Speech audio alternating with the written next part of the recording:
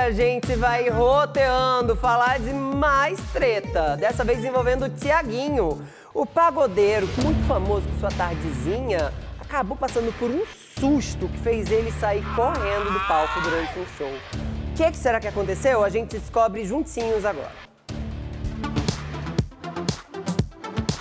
Fama com esse casal que a gente ama acompanhar, Tiaguinho e Carol Peixinho. Gente, conta pra gente, você teve um susto essa semana com o seu show que pegou fogo na praça de alimentação, né? Como foi sua reação? Como você ficou sabendo disso em cima do palco? Pois é, na verdade era um festival e na hora da minha apresentação teve esse incêndio. No momento que teve o incêndio eu não estava vendo porque foi na praça de alimentação, o palco era virado para cá. Mas graças a Deus os bombeiros, inclusive agradecer mais uma vez a galera dos bombeiros que controlaram rapidamente, ninguém se feriu.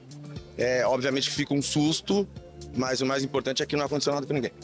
A Deus. E você também está lançando agora, no, na próxima semana, com o Péricles, um projeto para crianças. Como vai ser isso? Verdade, junto com o Mundo Bita. É, um convite dos dois, inclusive, não só do Mundo Bita, mas do Péricles também. É, eu fico muito feliz. Minha música já atinge um público infantil há muito tempo.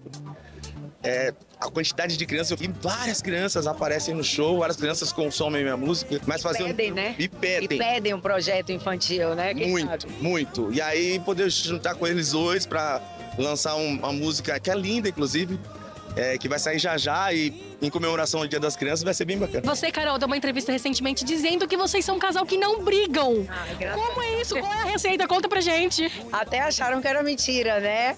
Mas graças a Deus, eu e o Thiago, a gente se encontrou no momento que a gente vi- viemos lapidados de outros relacionamentos, né? Acho que bem maduros e já numa idade que a gente sabe que coisas supérfluas a gente. Pra que brigar, né? Vamos ajustar como qualquer outra relação tem ajuste. Mas a gente realmente, em três anos, gente, a gente nunca brigou. E aí, vocês estão três anos juntos. Tem, né, previsão de progredir um relacionamento, um casamento, quem sabe? A Carol já falou que pretende aumentar a família. Como é isso, gente? A gente pensa assim, claro, planos pro futuro, né? Então, a gente vai vivendo uma coisa de cada vez, mas vai rolar.